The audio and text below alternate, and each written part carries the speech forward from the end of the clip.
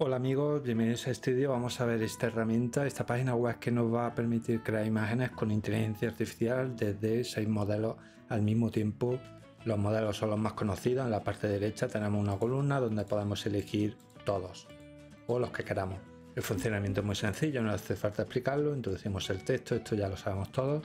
Vamos a poner Leonel Messi, por ejemplo. Esto viene muy bien para comparar los diferentes modelos. Le damos a Go algunos modelos tardan más que otros.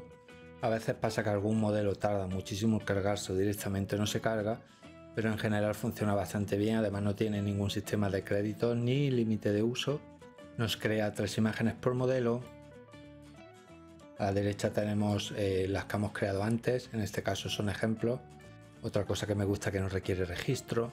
Descargar es muy fácil, simplemente hacemos clic sobre la imagen, le damos a descargar o también tenemos el enlace que nos lleva la imagen, vamos a descargar.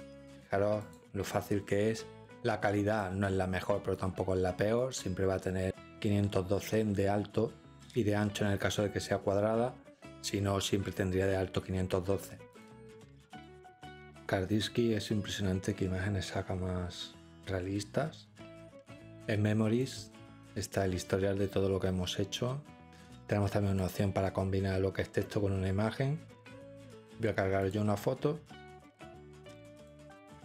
Vamos a ver qué sale. He puesto mitad humano, mitad máquina.